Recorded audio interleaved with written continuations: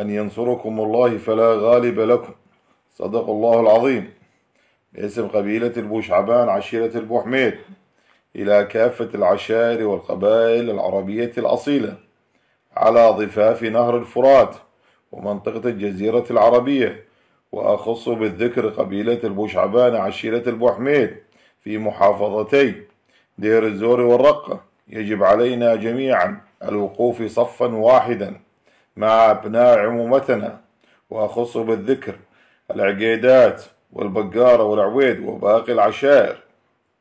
في منطقة الجزيرة ووادي الفرات لطرد كافة الفصائل الانفصالية وغيرها والأمريكان والعمل على تشكيل فصيل عشائر عربي يمثل كافة القبائل العربية لتحرير الأرض والحفاظ على العرض.